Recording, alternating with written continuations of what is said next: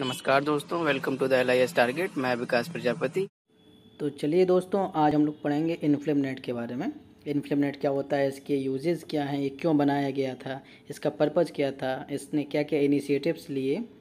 तो basically inflame net क्या होता है, इसका फुल फॉर्म होता है इन्फॉर्मेशन लाइब्रेरी नेटवर्क ठीक है? और ये 1991 में बना था, इसका सेंटर अहमदाबाद में है। तो हम लोग देखते हैं इनफ्लेम नेट क्या होता है, इसके क्या क्या यूजेज़ होते हैं, और बेसिकली पर्पज़ क्या हुआ था इसका फॉर्म करने का।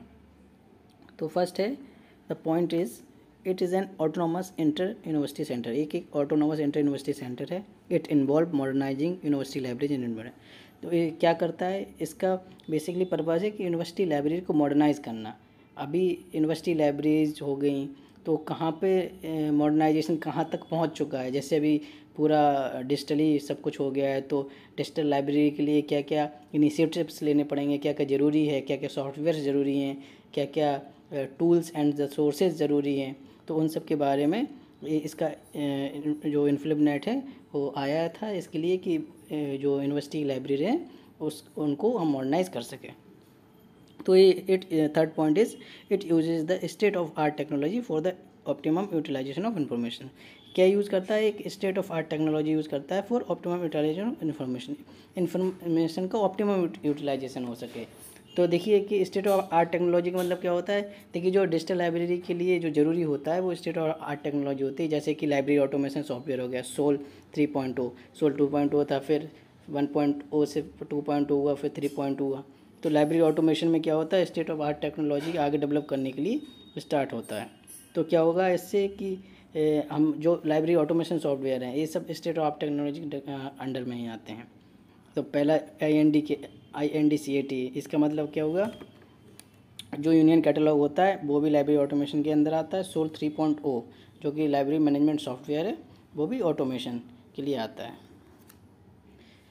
तो देखिए, और इसमें अगला इसने जो इनिशिएटिव लिया इनफ्लिमनेट में, वो ई कंसोर्टियम था। ई कंसोर्टियम में जैसे पहला हम देखते हैं ई शोध सिंधु ई शोध सिंधु क्या करता है? बेसिकली ये ई रिसोर्सेज हम लोग एक्सेस कर सकते हैं, जो कि जर्नल हो गए आर्टिकल्स हो गए ई बुक्स वगैरह हो गए, वो हम इसके थ्रू जा सकते हैं। और इसका सेकंड था एन लिस्ट एन लिस्ट में हम लोग जो भी ई रिसोर्सेज हैं, वो भी जैसे कि ई शोध सिंधु में होता है, वैसे एन लिस्ट में ई रिसोर्स पे जाके एक्सेस कर सकते हैं। अब तो इसको मिला भी दिया गया है। इनफी स्टेट्स है नेक्स्ट इन्वेस्टर में क्या होता था? मॉडर्नाइजिंग कर सकते थे हम द यूजेज ऑफ़ स्टैटिस्टिक्स ठीक है? तो स्टैटिस्टिक्स का क्या यूज़ होता है? उसको मोनिटा मॉनिटरिंग करते हैं हम लोग, ठीक है? और लास्ट है शोध शुद्धि। देखिए, शोध शुद्धि के बारे में आप हमेशा याद रखिएगा, ठीक है? शोध शुद्धि कहाँ यूज़ होता है? जो शोध शुद्धि है, ये प्लेगरिज्म डिटेक्टर है। ये प्लेगरिज्म चेक करता है। जो भी आपकी जो गलतियाँ हैं, जो कॉपीराइट आपने लिया है, कोई भी आप जैसे थैसे जमा करेंगे, उसमें कॉपीराइट इशू है कि नहीं, वो आपका कहाँ का प्लेगरिज्म वो चेक करता है शोध शुद्धि ये ध्यान इसके वर्ड से ही आप समझ सकते हैं शोध सिद्धि। तो इसका काम क्या है? कि हमारा प्लेगरिज्म डिटेक्टर होता है। ये सब पूछे जाते हैं एग्ज़ाम्स में, किसका क्या वर्क होता है। नेक्स्ट है ओपन एस इनिशिएटिव कौन कौन सी ओपन एस इनिशिएटिव लिए इनफ्लिमनेट ने। तो पहला, जैसे कुछ इनिशिएटिव्स के बारे में हम जानकारी रखते हैं तो पहला है शोध गंगा अब देखिए, ये भी आप चीज़ें याद रखिएगा, कौन सा इनिशिएटिव क्या वर्क करता है? तो जो शोध गंगा है, वो क्या है? ये रिजर्वायर होता है किसका? रिजर्वायर ऑफ़ थेसिस इसमें आप थेसिस दे सकते हैं, जो पीएचडी के थेसिस सबमिट होते हैं, वो शोध गंगा के थ्रू दे सकते हैं। और सेकंड क्या है? शोध गंगोत्री। शोध गंगोत्री शोध गंगोत्री में हम लोग क्या देख सकते हैं? सिनॉप्सिस तो हमें शोध गंगोत्री में सिनॉप्सिस मिलेंगे। ये तो इंस्टीट्यूशनल रिपोजिटरी है अपनी। इसका आप देख सकते हैं I R at the rate inflibnet में। बी नेट इनफ्लिम नेट में आप जाके दे सकते हैं। रिसर्च प्रोजेक्ट डाटाबेस है। ये भी रिसर्च प्रोजेक्ट डाटाबेस जो कि, जो प्रोजेक्ट्स चल रहे हैं, ठीक है? उस पर जाके देख सकते हैं। और जैसे इन्फोपोर्ट हो गया। इन्फो इन्फोपोर्ट भी जो ई रिसोर्स के लिए गेटवे होता है। तो हम लोग गेटवे ऑफ़ ई रिसोर्स कह सकते हैं इसको। तो आप ये ध्यान से रखिएगा किसका क्या काम होता है, शोध गंग शोध गंगा जो है वो थेसिस के लिए होता है, शोध गंगोत्री स्नोपसिस के लिए होता है इंस्टीट्यूशनल रिपोजिटरी एक रिपोजिटरी है जिसमें हम जाके कोई भी ई रिसोर्सेज पे जाके एक्सेस कर सकते हैं। ऐसे ही हमारा रिसर्च प्रोजेक्ट डेटाबेस है, इसमें जो प्रोजेक्ट चल रहे हैं उसके जाके डेटाबेस होता है पूरा, आप जाके देख सकते हैं और इन्फोपोर्ट होता है ए बी रिसोर्स के लिए। बेसिकली ओपन एसेस का मतलब आप समझ सकते हैं कि जहाँ पे हम कोई भी चीज़ जाके ओपनली एक्सेस कर सकें, हम घर पे जाके ट्वेंटी फोर इंटू सेवन इस पर एक्सेस कर सकते हैं। तो चलिए नेक्स्ट देखते हैं स्कॉलरी नेटवर्क कौन कौन से होते हैं? तो स्कॉलर नेटवर्क पहला विद्वान है। विद्वान में क्या होता है? स्कॉलर नेटवर्क ये एक डेटा होता है एक्सपर्ट डेटा बेस एक्सपर्ट रहते हैं। जैसे किसी भी चीज़ के जो प्रोफेसर्स हैं साइंटिस्ट हैं, जो रिसर्च एंड डेवलपमेंट में जो जो एक्सपर्ट्स हैं, वो सब इसमें विद्वान पे आपको जा कर के मिलेंगे। ये इन्फ्लिपनेट का इनिशिएटिव है।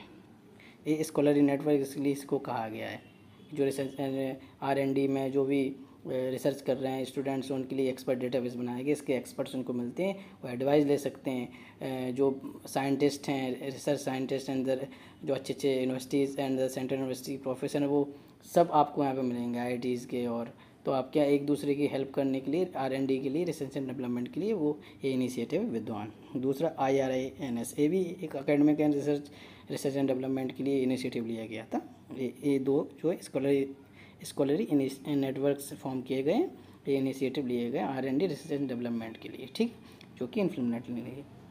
और E content development and services कौन थी? आई एल एम एस होती, जो कि इसको कहा जाता है इन्फ्लूमिनेट लर्निंग मैनेजमेंट सर्विस तो इसमें इसके अंडर में क्या आता है? जैसे आपने बहुत सारे कोर्स किए होंगे, आप देखते होंगे स्वयं पे है ये भी सब एम एच आर डी का है, पूरा इन्फ्लूमिनेट किसका है? एम एच आर डी का इनिशिएटिव है कि नहीं? Ministry of human resources and development ठीक है? अब जो कि एम, एच, ई हो गया मेरे ख्याल से मिनिस्ट्री ऑफ़ एजुकेशन है। तो अब जैसे कि ये जो I L M S S के अंडर में काफ़ी जो इनिशिएटिव लिए गए हैं, जो रिसोर्सेज के, जैसे कि स्वयं हो गया ई पी जी पाठशाला, ये सब जो जो लर्निंग इनिशिएटिव्स लिए गए ये सब इसके अंडर में आते हैं। जैसे कि एग्जांपल हम लोग दे सकते हैं, जो ये कंटेंट डेवलपमेंट एंड सर्विसेज़ हैं, जैसे ई पी जी पाठशाला हो गया, विद्या मंत्रा हो गया यू जी सी मुक्स हो गया, स्वयं प्रभा हो गया जैसे आपने बहुत सारे कोर्स किए होंगे जो मूक से यूजी से, स्वयं से जो होते हैं, वो भी एमएचआरडी का है। काफ़ी सारे इसमें इमर्जिंग जो ट्रेंड्स होते हैं लाइब्रेरीज के बारे में या फिर अलग अलग और भी कोर्सेज़ के तो वो आप कर सकते हैं इस पर जा कर के। तो और ई पी जी पाठशाला आप जानते हैं, इसमें पूरे किसी भी, जो भी आप सब्जेक्ट से पढ़ाई कर रहे हैं मास्टर डिग्री या फिर नेट या किसी चीज़ की तैयारी तो आप जाके एक्सेस कर सकते हैं इसके, जो नोट्स होते हैं, वो पढ़ सकते हैं वीडियो लेक्चर्स देख सकते हैं। तो ये सब जो हैं इनिशिएटिव्स लिए गए एमएचआरडी के द्वारा लिए गए थे उस समय, जो 1991 में फॉर्म किया गया था, अब वो डेवलपमेंट होता आ रहा है और आगे भी इसलिए इसको और भी डेवलपमेंट कहते हैं इसलिए इसको कहा गया था कि it's small modernising university libraries क्योंकि मॉडर्नाइजिंग करने का मतलब ये है कि क्या ट्रेंड चल रहा है। अब देखिए, जैसे कोविड आ गया था तो इन्फॉर्मेशन हर एक के पास नहीं पहुँच पा रही थी तो फिर ये सब कोर्सेज़ के थ्रू कहीं ना कहीं पहुंचाएगी ना फिजिकली तो पहुँच नहीं पा रही थी। तो ऐसे ही हमको ये चीज़ देखनी होती है।